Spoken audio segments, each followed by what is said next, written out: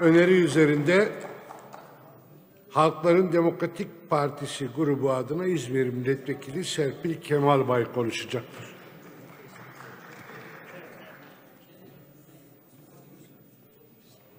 Buyurun Sayın Kemal Bay, süreniz beş dakikadır. Teşekkür ederim Sayın Başkan. Yıllarca çalışmış ve emekli olmaya ömrü yetmiş 13,5 milyon emeklinin durumunu konuşuyoruz. İlk önce e, şu anda emekli olan vatandaşlarımızı aslında emekli olmayı başardıkları için kutlamak gerekiyor. E, biraz önce de söylendi. Kendisi 46 yaşında emekli olan, üstelik şu anda çift maaş almakta hiçbir sakınca görmeyen Cumhurbaşkanının kendisinden sonra kimsenin yaşarken emekli olmaması için her türlü önlemi aldığını görüyoruz.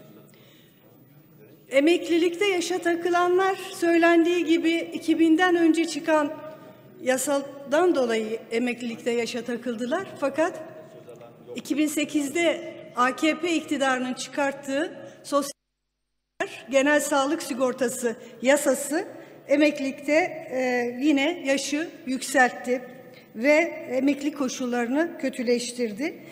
E, olur mu öyle şey demeyelim oldu. E, şu anda çalışıp 65 yaşında emekli olacağını sanan çalışanların ileride başına ne geleceğini de bilmiyoruz.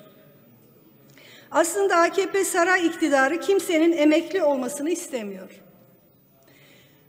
Ama gözünü emeklilik için kesilen paraya dikmiş durumda. Ücrette adaletsizlik bunun bir göstergesi. Şu anda 850 lira emekli maaşı alan emekliler dahi bulunuyor. Bu AKP döneminde getiren yasalardan kaynaklı olarak böyle. İşte ne yaparız da bu parayı emeklilere vermeyiz ki bu para halktan toplanan, çalışanlardan toplanan, halkın doğrudan ve dolaylı vergilerinden toplanan paralardır. Bu paraları nasıl emeklilere vermeyiz diye bir çalışma yapılıyor. Bunun yolunu da emeklilikle yaşa takılanlar gibi e, akla hayale sığmayan hak gasplarıyla ya da emeklilik koşullarını her defasında kötüleştirerek yapıyorlar. Bu da yetmiyor. Bir de bireysel emeklilik sistemi çıkarttılar. Zorunlu bireysel emeklilik sistemi ile tekrar ücretlilerden fonlar oluşturarak adına emeklilik dedikleri sermayeye para aktarma sistemini oluşturdular. Halbuki bunun emeklilikle bir ilgisi yok. Bu, bu fon, bu fonda yine her zaman olduğu gibi işçilerden, emekçilerden alınıp sermayeye aktarılacak bir fon. Değerli arkadaşlar, bireysel emeklilik sisteminden hemen çıkılması gerekiyor. Zorunlu bireysel emeklilik sistemine de hayır denmesi gerekiyor. Çalışanlar ileride bu BES konusunda daha fazla soyulacaklarına emin olabilirler. Buyurun Sayın Kemal Bay, tamamlayın lütfen.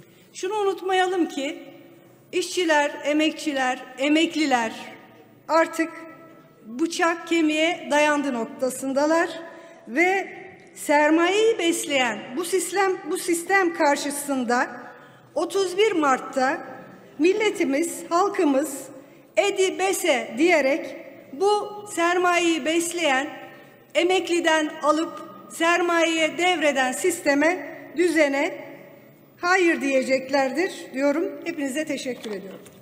Teşekkürler Sayın Kemal Bay. 8 milyon emeklinin 4 milyonu çalışmak zorunda. Yüzde ellisi.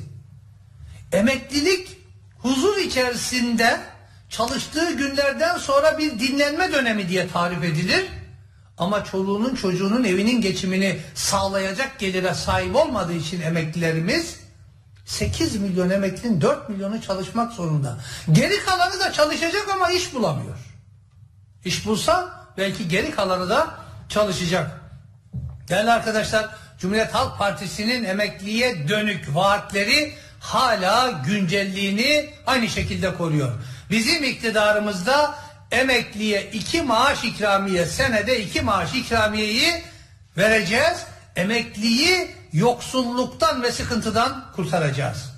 Yetmez, büyümeden emekliye pay vereceğiz. Bakın 7.4 büyüdük dediler.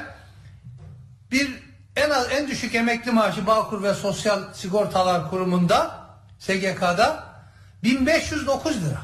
Sosyal Güvenlik Kurumu'nda en düşük emekli maaşı 1509 lira. Büyümeden pay verdiğinde 2400 liraya çıkarmak lazım. En düşük emekli maaşını ama bu iktidar emekliye büyümeden pay vermeyen bir iktidar. Bunun yerine emeklinin maaşını sarayda bir dakikada harcayan bir iktidar. Sarayın bir dakikalık masrafı 1600 liranın üzerinde. Bir dakikalık masrafı 1630 lira. Sarayın bir dakikası bir emekli maaşı. Yani taksimetreyi açtığı zaman saray her dakikada bir emekli maaşı harcıyor. Yazık değil mi? Kendi emeklisine düşman bir anlayış ve hükümet olur. Sayın Başkan, değerli milletvekilleri, Yüce Eğitim'i saygıyla selamlıyorum. Evet, emeklilerle alakalı sorunlar var. 3 dakika içerisinde bu sorunları dile getirmek imkansız gibi olay. Özellikle emeklilikte yaşa takılanlarla alakalı bugün Adalet ve Kalkınma Partisi'nin genel başkanının grupta yaptığı açıklama umutların tükendiğini gösteriyor. Cevaz vermiyor. Diyor ki burada herhangi bir işlem yapmayacağız diyor ve sayfayı kapatıyor.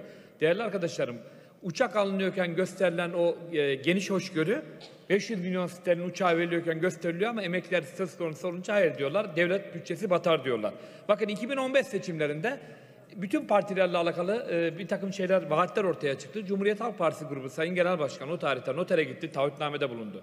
Dedi ki emeklilere iki maaş ikramiye vereceğiz diye. Dönemin Maliye Bakanı Mehmet Şimşek eğer dedi Cumhuriyet Halk Partisi bunu yaparsa e, eğer emeklilere iki maaş ikramiye verilirse ben dedi bundan sonraki seçimlerde Cumhuriyet Halk Partisi'ne oy vereceğim dedi. Sayın Bakan ortada yok. Sayın Bakan ortada yok. Bin lira verdiniz değerli AKP grubundaki milletvekili arkadaşlarım. O bin lira da o günkü bin lira değil. Bakın emekler öyle bir tabloyla karşı karşıya ki Ankara'da yaşadığım bir dramatik olayı size paylaşmak istiyorum. Çok yakın bir zamanda kasaba gittim değerli milletvekiller. Emekliler ne yaşıyor? Bu tabloyu görün diye diyorum. Önümde bir emekli var. Gördüm emekli olduğunu.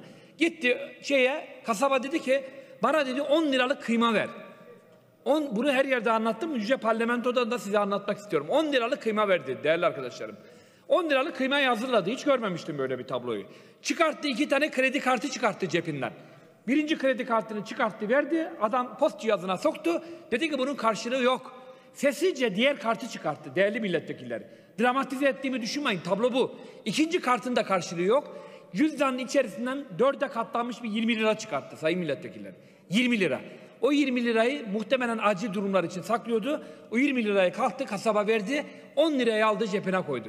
Şimdi değerli arkadaşlarım böyle bir Türkiye ile karşı karşıyayız. Şimdi biz bu emekleri, bu yüce parlamento, bu Mustafa Kemal'in parlamentosu emeklerin sorunlarını tartışmayacak, onunla alakalı bir meclis araştırma önergesini kabul etmeyecek de uzay sorunlarını mı tartışacağız bu ülkede değerli arkadaşlar?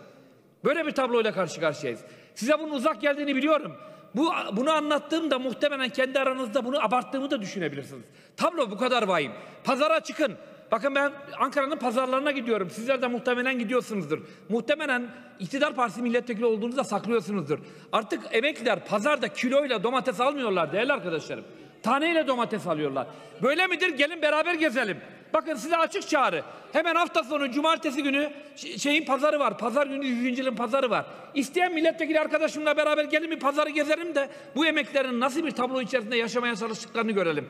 Açlık sınırı içerisinde boğulan Yoksulluk sınırı altında yatan 11 milyon aşkın bir emekli gerçeğiyle karşı karşıyayız değerli arkadaşlarım. O nedenle bu parlamento olarak bunların sorunlarına bugün çare bulmak zorundayız.